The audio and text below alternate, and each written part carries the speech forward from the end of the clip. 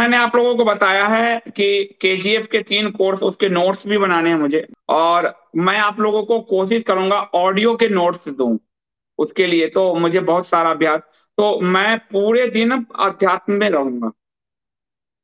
इसलिए मैं दिन में न्यूज़ की जगह रात के नौ बजे आपको न्यूज़ करूँगा और दिन में नौ बजे से मैं अध्यात्म शुरू करूँगा। पूजा करता हूँ, एक डेढ़ घंटे पूजा में, उसके बाद से मेरा पूरा आध्यात्मिक मूड रहेगा। तो मैं शाम तक जो है वो पूरा कोर्स बनाना सब तो इसलिए सुबह आपको मैं, सुबह आपके दिन की शुरुआत अच्छी हो और सुबह नौ बजे मैं आपको अगले वीक वीक से जब भी करूँगा, अभी तो यही चल रहा है। तो मैं सुबह नौ बजे अध्यात्म ताकि दिन आपका आराम बहुत हो जो है, कल ये साढ़े बारह बजे आ रहे हैं शंकर शरण जी, इस्लाम और कम्युनिज्म पे। नई पुस्तक है उनकी, ज़बरदस्त पुस्तक है। और हिंदू के समक्ष जो तीन चेतावनी है हिंदू को वो तीन चेतावनी, तीन पॉइंट में समझाएँगे और वो हर हिंदू को समझना ही चाहिए। तो ये कल का लाइव साढ़े बारह बजे होगा। तो मेरा टाइम थोड़ा गड़बड़ा रहा है सब। तो मैं समझ नहीं पा रहा हूँ।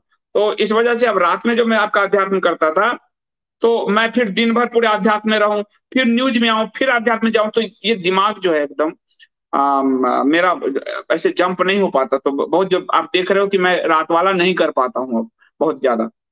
तो वो मैं सुबह नौ बजे आपको देने का प्रयास करूँगा ताकि मेरा दिन वहाँ से जो है पूजा पाठ से शुरू होता है, वो आपसे एक सत्संग करते हुए और मैं पूरे दिन अध्यात्म में रहूँ।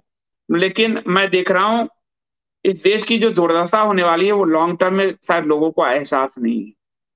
बहुत ज़्यादा, और ये ये देश बहुत ज़्यादा उथल पुथल से गुजरने वाला है। सैतालीस जैसा उथल पुथल निकट भविष्य में मुझे लगता है पंद्रह बीस साल में होगा, क्योंकि हिंदू सजग नहीं है।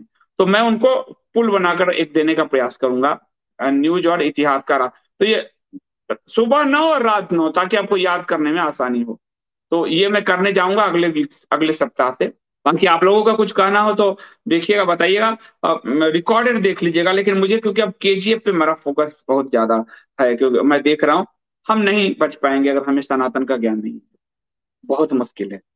सनातन का ज्ञान होना ही चाहिए। तो आप सबका बहुत बहुत धन्यवाद।